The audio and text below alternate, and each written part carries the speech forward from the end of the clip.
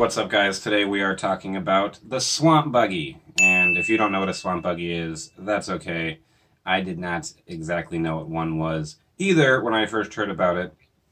When my dad moved down to Florida before I did, he was sending me pictures from this Mudfest. And I like mud and off-roading as much as the next guy, but I did not quite know what this Mudfest was about.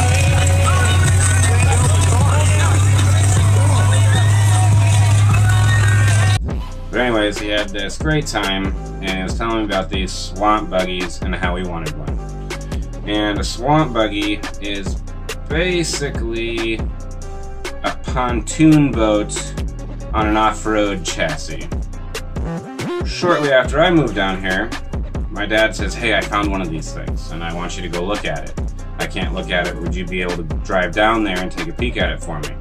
And I checked it all out, told dad about it, told him about all the mechanicals and everything, and time goes by, it's his. So, of course, my dad being my dad, and where I get my building intuition from, he couldn't just leave it alone. So, we ended up putting a 454 Chevy in it, which is out of an old kit car he had. It's been bored out to 468, been balanced, blueprinted. It's got aluminum rods, pistons. It's it's built up. It makes a lot of power.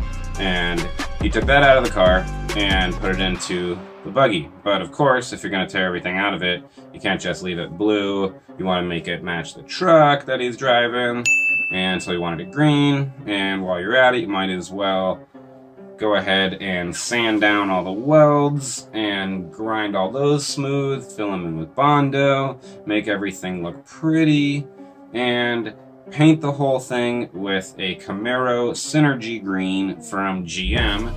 And of course I added a few little airbrush touches here and there, some kind of plasma effects that matched the Dragon that he had on his Silverado at the time.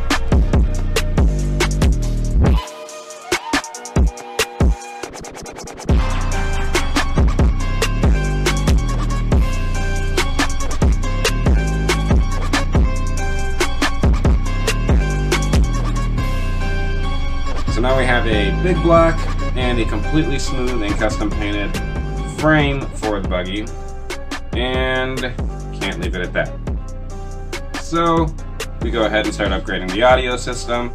We take out the old bucket seats and put black and green racing seats in on all the seating mounts.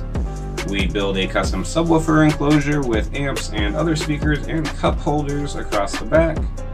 At one point, we ended up building an entire second deck for this thing.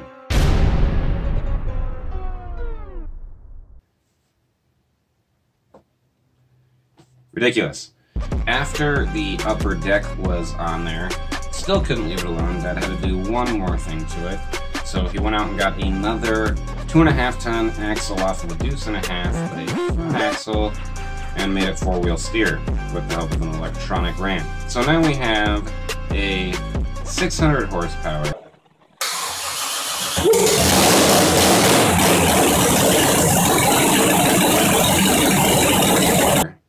Four-wheel steer, two-story pontoon on wheels.